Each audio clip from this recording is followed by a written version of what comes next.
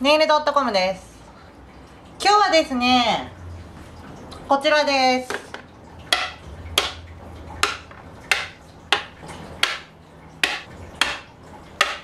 はい、こちら。黄緑っぽいカラーを、えーたくさん集めてみました。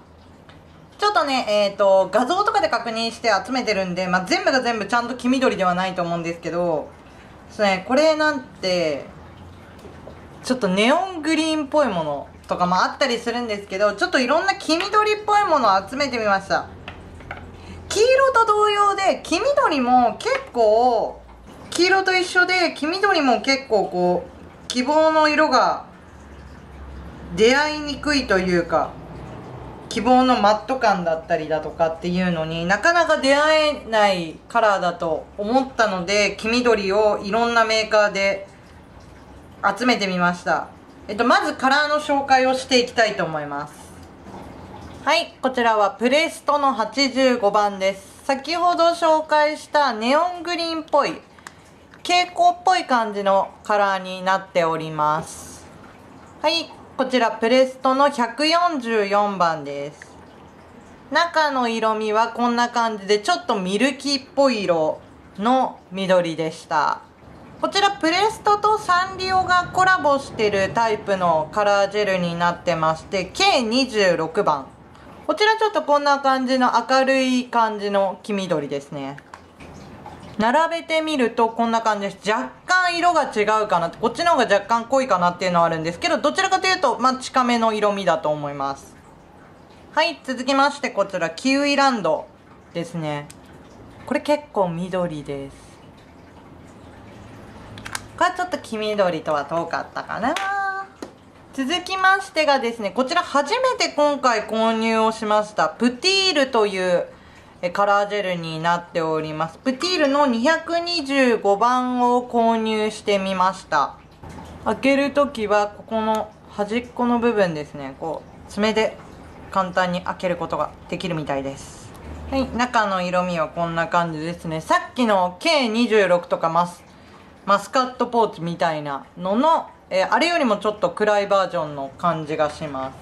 開けてみた感じだとこんな感じです。これが K26 マスカットポーチに、えープティールの225番のカラーになっております。これの方がちょっとなんか抹茶ミルクっぽい感じの色味になってますね。で次がこちらですね。プティールの215番です。これが 2g でだいたい、えー TAT で購入した時に700円ぐらいだった気がします。この中の色味はこんな感じですね。こっちの方がさっきの色よりかはちょっと黄緑に近いのかなと思う感じの色味です。次はこちらですね。ネイル工房のプレミアムカラージェル A26 というものになります。ラスターグリーンっていうカラーですね。こちらもちょっと開けていきます。うわーこの蓋ほんと嫌い。最近結構開けやすい蓋が増えたなと思ってたんだけどな。開けていきます。なんかラメカラーですね。私ラメ買ったっけ？ちょっとラメカラーでしたね。ラメカラーだけど、まあ、ちょっと明るい感じの緑ですね。ガチャピンっぽいような。あなんか綺麗な時のガチャピンっぽいような色の緑です。で、えー最後になります。最後はこちらですね。色汁さんが出してる A26 番。さっきも A26 番だった。あこれもしかして A26 じゃなくてこっちのがついちゃったのかも。ちょシールで A26 って書いてあるから A26 って読んだけど A26 は違いますね。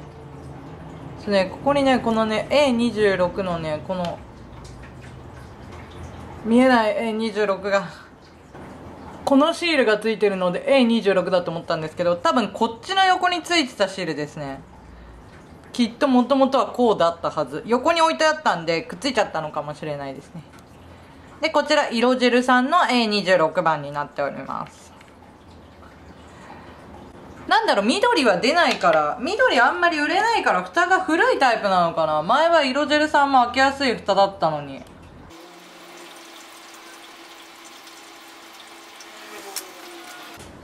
はい。A26 の色味はこんな感じになってます。なんかスタバの抹茶フラペチーノみたいな色してますね。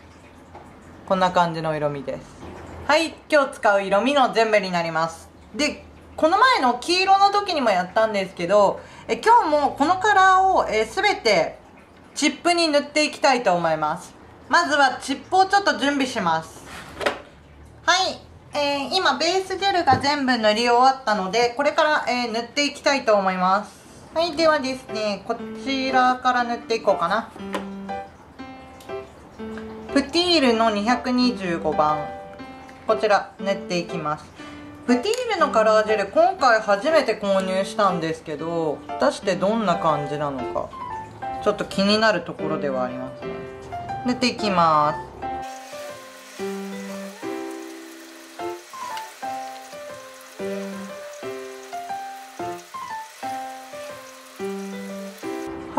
一度塗りしてこんな感じですね。さっき筆に取った量をプラスえもう1回で。2回取って塗り上げた感じです。結構1回に使うジェルの量が多いなっていうのが正直な感想ですね。あとちょっと刷毛跡が残りやすいのでこう塗った後にセルフレベリングを待ってから硬化するような感じになるのかなと思います。ではこれちょっと硬化します。多分1回に使うジェルの量はこのぐらいですね。この爪の大きさに対してこのぐらいです。こんな感じです。2度塗りしていきます。はい2度塗りしてこんな感じですね。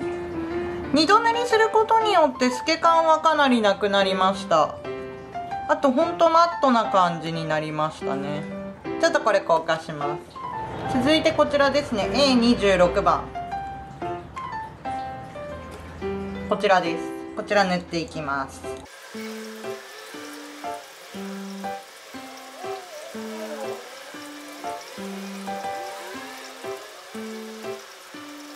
はい。一度塗りしてこんな感じですね。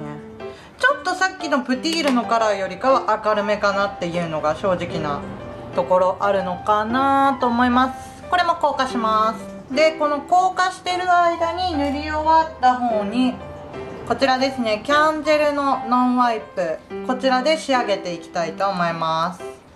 はい二度塗りしていきます。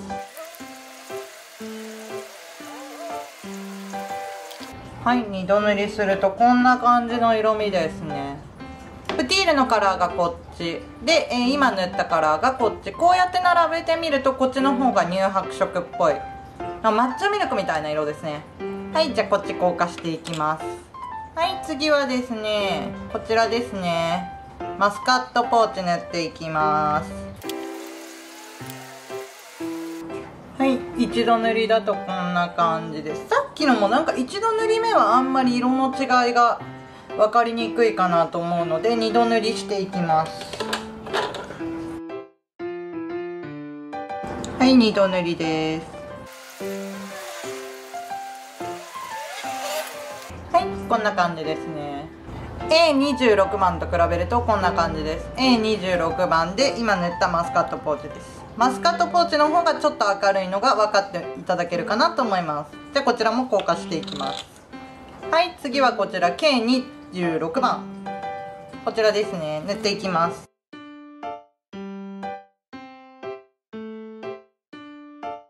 はい。一度塗りだとこんな感じですね。プレストのカラーは一度塗りでもムラ感がなく薄付きで綺麗に出来上がるところが結構好きです。硬化します。はい。二度塗りしていきます。はい二度塗りするとこんな感じです。マスカットポーチと並べてもそんなに色の違いが分かりにくいかなと思うんですけど若干 K26 の方が明るいです。若干ですねでも本当。こちらも硬化していきます。こちらのちょっとラメカラーも塗っていきます。ラスターグリーンです。ラスターグリーン塗ります。ラスターグリーンこんな色味です。硬化します。はい二度塗りします。こんな感じですね。なんか爽やかな感じですね。硬化します。ただちょっとラメが入ってるんで今回マットカラーで探してたんで、まあ、買ったの自分なんですけどなんかあんまりラスターグリーンはこう比較の対象にならないかなと思います。はい。では次こちらですね。215番のプティール塗っていきます。ちょっと見えますかね。これ筋がちょっと残ってるんですけどこれがこう徐々にセルフレベリングで綺麗になっていってあもう大丈夫そうですね。硬化します。はい二度塗りしていきます。な感じの色味です。硬化します。はい。続きましてこちらプレストの144番。塗っていきます。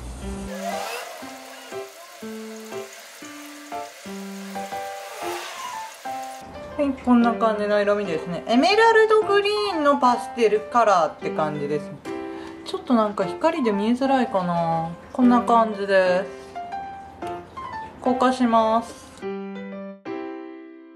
はい二度塗りするとこんな感じです。やっぱりちょっとエメラルドグリーンっぽいですね。硬化します。はい続いてはこちら。85番のプレストカラーですね。使っていきます。ほんと蛍光っぽい感じなんですよね。元気が出るような黄緑。はい一度塗りでこんな感じです。硬化します。はい二度塗りします。はい二度塗りするとこんな感じですね。もうほんと元気な感じの濃い黄黄緑。濃い感じです。結構マットな感じで透け感もあんまりないので結構仕事をしててお客さんに出る色かなと思います。硬化します。はい最後はこちらですね。キウイランドです。一番濃い感じの緑です。こちら塗っていきたいと思います。はいキウイランド塗っていきたいと思います。